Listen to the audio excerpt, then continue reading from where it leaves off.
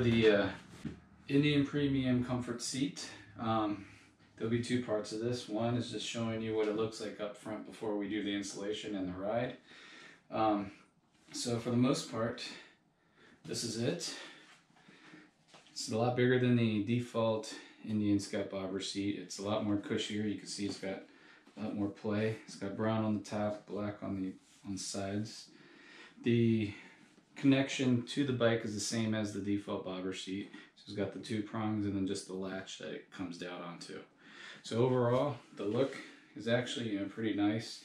It's pretty soft and um, looks like it'll be a lot better than what uh, is on there already.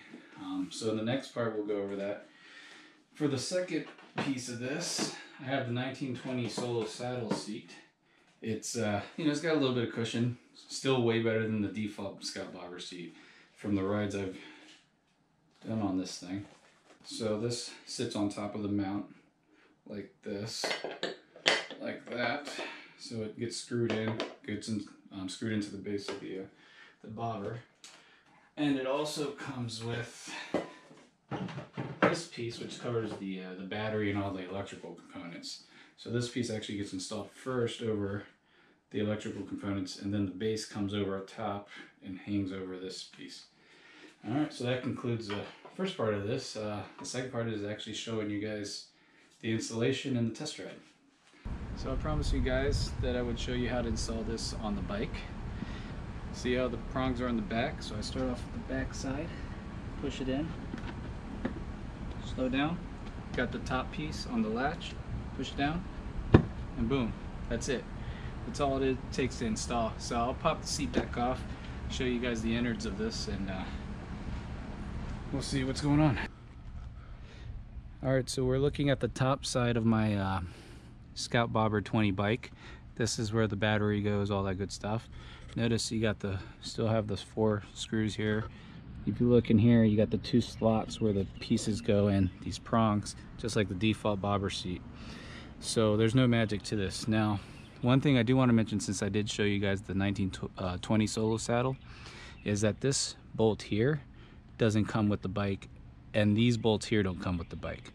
So when the 1920 Solo saddle seat's in, these screws are out, this bolt's out, and there's a mount here for the guard on the electrical pieces. But I'll cover all that on my next video on the 1920 Solo saddle seat installation and uh, test ride. So let's uh, pop the seat in. So it goes. Boom. Easy as that. Alright, we'll actually go around the bike. Look at the bike from every angle here. So this is what it looks like from the side. So it looks like from the back.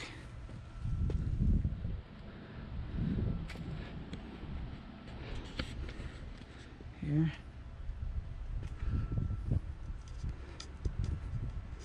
And here. Alright, so I wanted you guys to see what the riding position is. I'm 5'10", 5'11", 200 pounds. Um, you know, fairly long legs.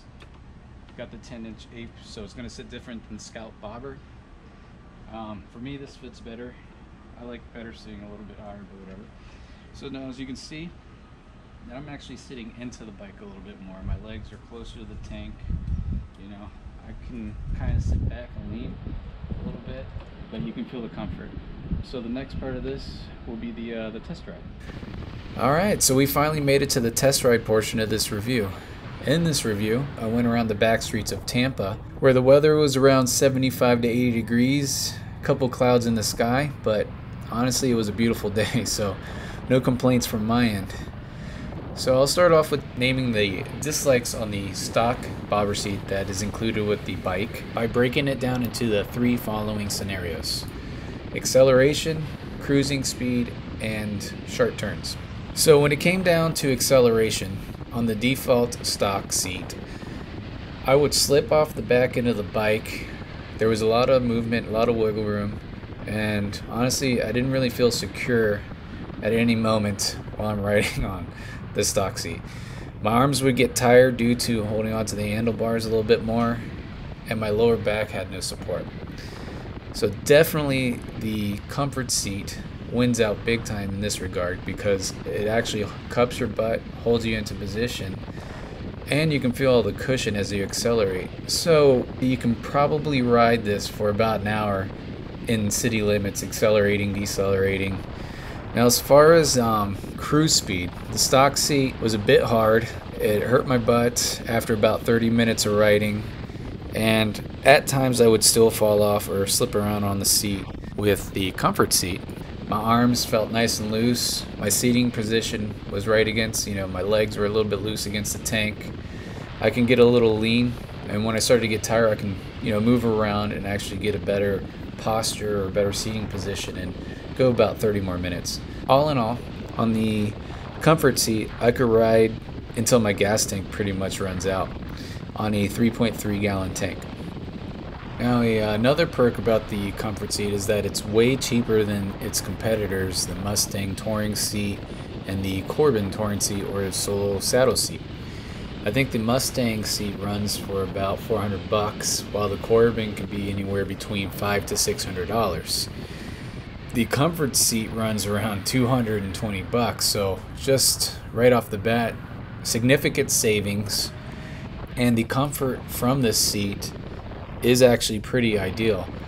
I cannot see myself spending any more money than I did on this seat and I don't think I would get that much more comfort to the point where I'm willing to spend 300 more dollars.